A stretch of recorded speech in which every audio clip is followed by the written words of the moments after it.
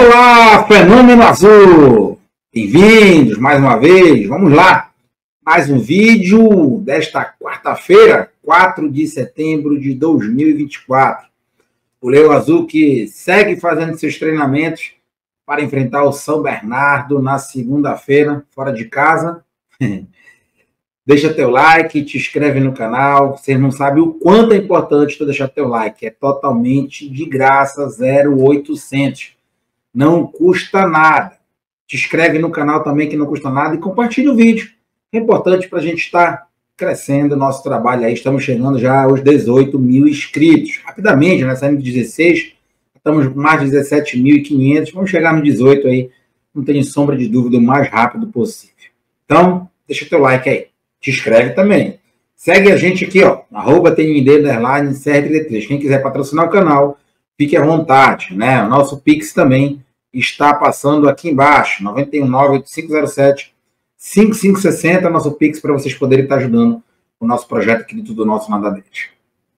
O Remo segue fazendo seus treinamentos, né? Vai jogar lá no estádio 1 de maio, lá no interior de São Paulo, e o Leão Azul Paraense né, vai enfrentar algum tipo de torcida lá.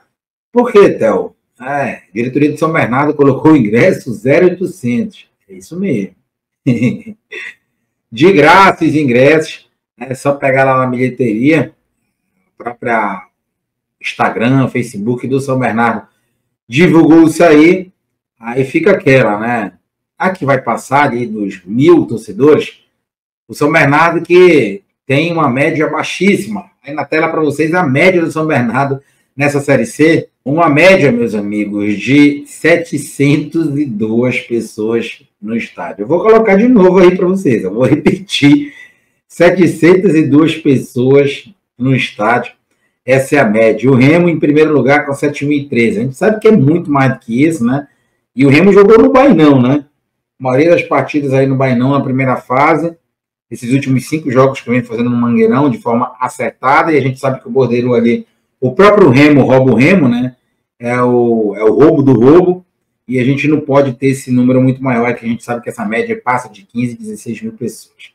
Mas, São Bernardo, 702 pessoas no estádio, deveremos ter aí pouco mais de mil torcedores, isso aí no máximo, né? No máximo, mais de 1.500 torcedores, porque é de graça e é uma fase decisiva, e a torcida do Remo também vai se fazer presente Segundo o que a gente pegou na internet, os ingressos para visitantes será cobrado por 10 reais num setor diferente ali, que seria a cadeira, né?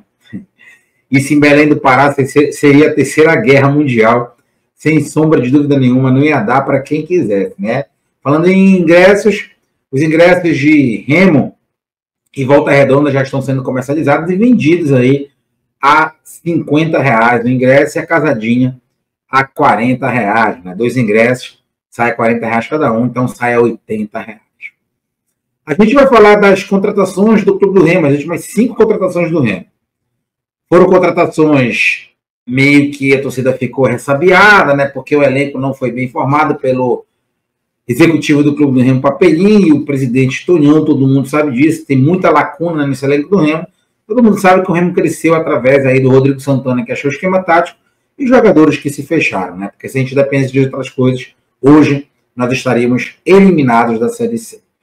Pois bem, Rodrigo Santana contratou algumas peças, pediu, né, encaixou um esquema em cima do que ele tinha, diferente do que os outros treinadores fazem, que é encaixar o seu esquema tático para os jogadores se adaptar. Aí, meus amigos, vocês sabem o que acontece, né, fica uma salada de fruta estragada. Ele fez ao contrário, e o certo.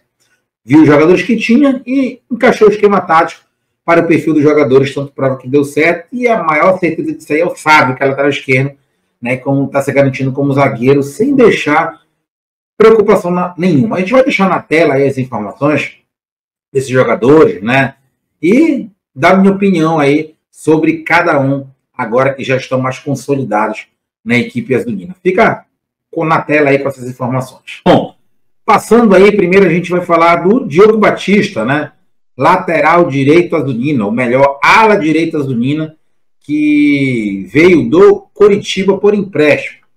Né? Ele disputou ali sete jogos pelo Campeonato Paranaense, não se firmou, um jogador novo, né, de 21 anos, de Januária, de Minas Gerais, e 1,74m. Bom, o Diogo Batista é lateral direito titular, um ala direito titular absoluto do Clube do Remo, depois da contusão ali do Thales, que era um dos poucos jogadores na era catalá que se salvava ali, né? Então, o Diogo Batista de Souza, né? Até meu parente, até o Souza, é, ele consolidou legal na equipe azulina e né, se falta qualidade técnica, não falta empenho, não falta vontade, não falta pujança, que eu já falei aqui várias vezes, se faz necessário em uma Série C.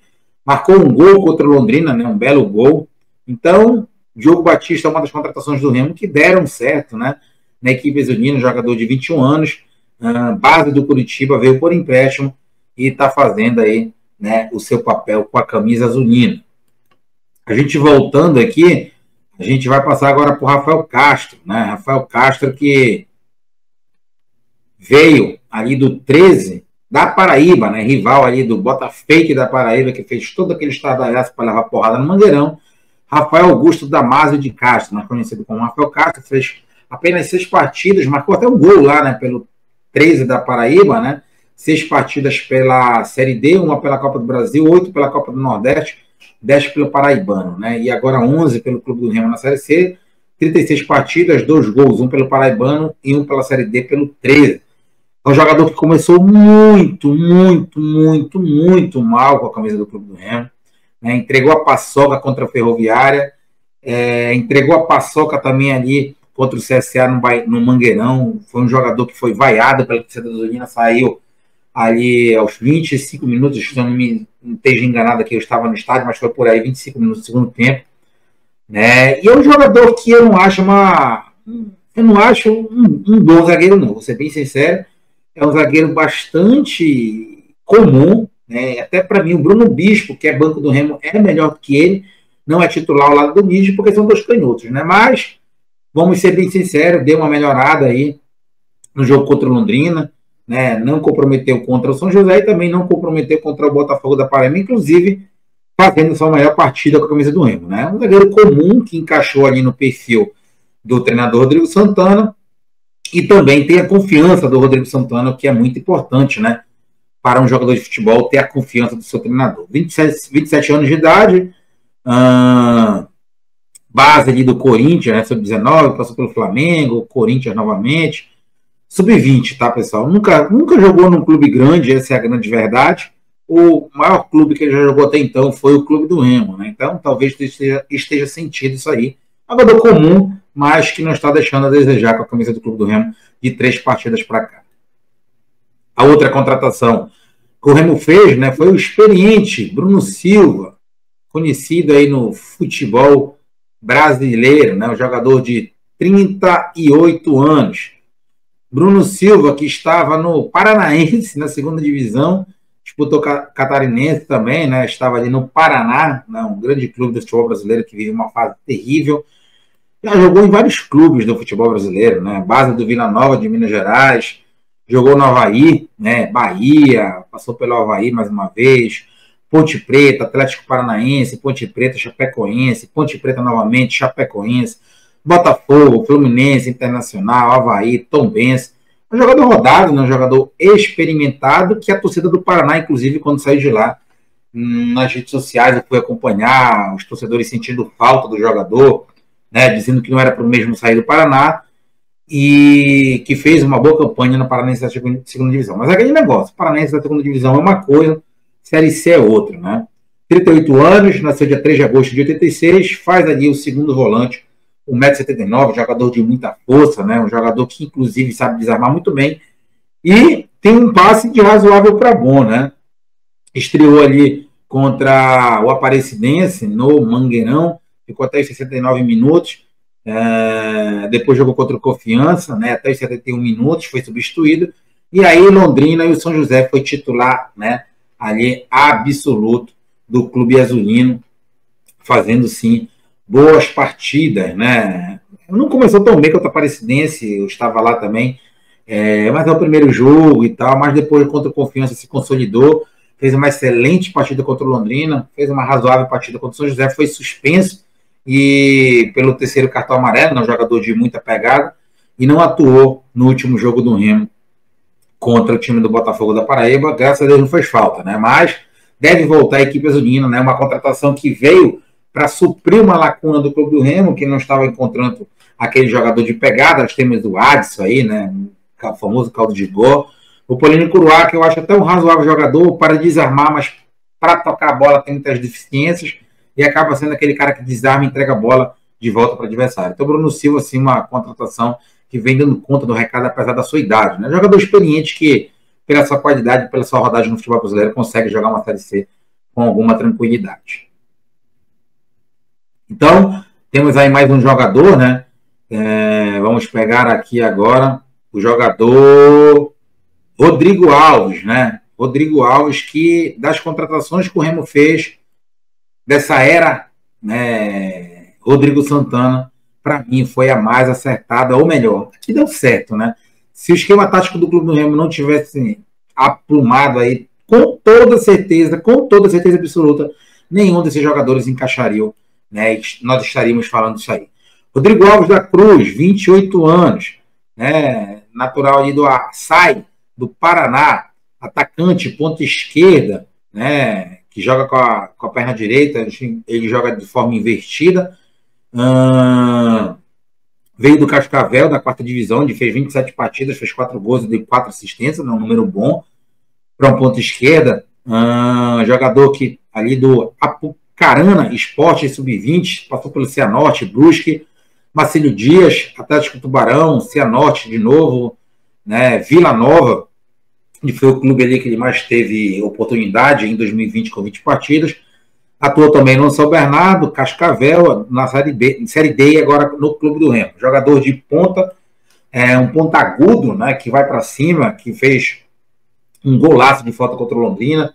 Um jogador de bastante, bastante assistências e como eu falo, né? E é um jogador que dessas contratações foi o que mais deu certo até agora com a camisa azulina e vem sendo titular para mim, tem que continuar sendo titular também na equipe azulina para o restante da Série C, né? Fez boa partida contra o Confiança, uh, atuou pouco tempo ali contra o Aparecidense, fez uma ótima partida também contra o Londrina, fez uma partida ali de boa para razoável, né? Contra o São José, o melhor de razoável para boa contra o São José e atuou muito bem também contra o Botafogo da Paraíba. Né? Um jogador que volta bastante para fazer uma marcação do lado esquerdo, para ajudar tanto ali o Sávio quanto o Raimar, e também né, faz a sua parte ofensiva muito boa do lado esquerdo, um jogador que, vou ser bem sincero para você, não esperava tanto, né, e entregou muito, na verdade está entregando muito. Com a camisa do Remo, fez sete jogos pelo Clube do Remo, fez 13 pelo Cascavel na Série D, um pela Copa do Brasil e 13 pelo Paranaense, né, o jogador aí, Rodrigo Alves da Cruz, e vou repetir, das contratações que o Remo fez, até agora vem sendo a melhor, né? Lembrando que nós temos também aí, né, o jogador zumbi, né, eu costumo chamar respeitosamente de zumbi, é o jogador Johnny, né, deixa eu até pegar o nome dele aqui, jogador Johnny Robert, né, a gente não vai tá falando muito do mesmo aqui, até porque jogou aí 15 minutinhos, né? Contra o Botafogo da Paraíba. Então vamos aguardar um pouco mais o que, gente, o que ele pode entregar. Entrou bem, com muita vontade, mostrou um lado um marqueteiro muito bom, né? Puxando a torcida, gritando ali, dando um carrinho. Isso é legal, isso é legal porque faz a gente sentir aqui fora que o clube do Remo lá dentro está bem representado e o ambiente do clube do Remo está muito legal, né? E o que a gente pode dizer é que essas contratações do Remo encaixaram, né? Ó, por exemplo, Rafael Castro, titular. Diogo, titular. Né? O próprio Bruno, titular. Né? O Rodrigo, titular. Nós temos aí também o Johnny Robert, que não é titular, né? mas entrou ali, quem sabe não pode se tornar titular em algum momento. E agora, né, voltando, a gente vai falar da última contratação do Remo, que também deu muito certo, né? Eu acho que dessas contratações que o Remo fez aí, para mim, tá no é o segundo lugar, né? Colocaria o Rodrigo como primeiro. Este jogador que eu vou anunciar agora, vou falar aqui, anunciar não, vou falar para vocês, é o segundo, né? E ali colocaria o Diogo como terceiro, né? Nós temos agora aqui o jogador Sávio, né? Deixei por último aqui o Sávio. O Sávio, 29 anos, né? Um jogador que atua na lateral esquerda, a gente até falou, ixi, rapaz, o Raimar tá deixando saudade. E o Raimar naquela época não estava jogando o que vem jogando agora. Tudo é esquema tático e a confiança do jogador, né? Sávio tem 29 anos, nasceu de 26 de maio de 95, né? Natural de Araraquara, São Paulo, e estava parado, né? Estava parado lá no Rio Ave, disputou apenas oito partidas, estava aqui meio encostado, mas é um jogador que tem já uma certa rodagem, né, pessoal? É, começou ali no Guariba, passou pela Ferroviária, Noroeste, Atlético Paranaense, União Barbarense, Ferroviária, né? Ganhou um grande destaque no Londrina em 2018, jogou pela América Mineiro, 13 partidas, né? Em 2019, 2020, 40 partidas sendo titular absoluto. Né? América Mineiro, que é um clube aí de grande potencial do futebol brasileiro. Foi lá para o Rio Ave, chamou a atenção do clube português. Ficou lá por duas temporadas, veio por empréstimo ao Goiás, onde jogou 11 partidas, voltou para o Rio Ave, né, 14 partidas em 2022 2023. Um jogador que está sempre atuando ali por clubes né, de qualidade. Londrina, o cara foi titular, né, Rio Ave também, América Mineiro principalmente, titular. Jogador que teve uma contusão, né?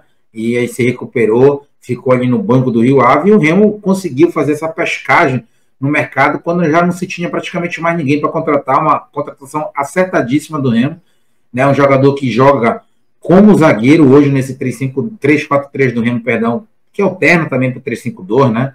3-4-1-2, de forma muito acertativa e deu certo, né? Deu certo com a camisa azulina e é um jogador que vem fazendo uma função muito, muito boa, é, encaixando na equipe azulina e fazendo valer essa contratação ali jogou contra o. estreou contra a Aparecidense, né? Jogou contra a Confiança, foi substituído contra o Londrina, até porque o jogo já estava decidido 3 a 0 E aí jogou contra o São José, jogou contra o Botafogo. A verdade é que quando ele né, e o próprio Rafael Castro entraram na zaga nesse esquema 3-4-3, o Clube do Rio parou de levar gols, né?